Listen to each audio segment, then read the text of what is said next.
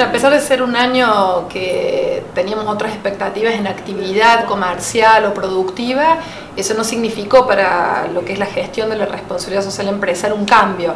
Seguimos activos porque tiene que ver con la forma en que hacemos las cosas y con una profunda reflexión interna de cuál es el impacto de lo que hacemos. En ese sentido, todas las obras que estamos haciendo, teniendo en marcha, como los proyectos inmobiliarios, como la relación con los clientes y la relación con los vecinos, este, sigue muy activa y muy también a flor de piel, ¿no? porque hay una, sensibilidad respecto del momento de crisis que se vivió este año y que aún se sigue viviendo, en donde hay que estar más atentos. La gestión de la responsabilidad social empresarial la entendemos, como te decía, como el modo de hacer las cosas.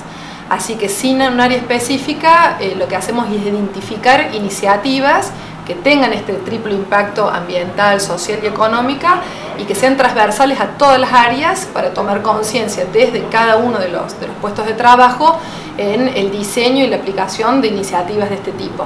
Nosotros no tratamos esta gestión como poner en marcha programas específicos, sí lo hacemos con potenciar iniciativas eh, puntuales.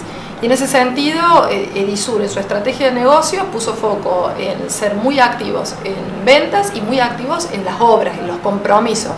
Por lo tanto, no alteramos ningún programa ni dimos de baja, sino lo que tratamos sí es de focalizar en los compromisos que tenemos, por un lado, con nuestros clientes y nuestros colaboradores, como también con las entidades o clientes corporativos y gubernamentales.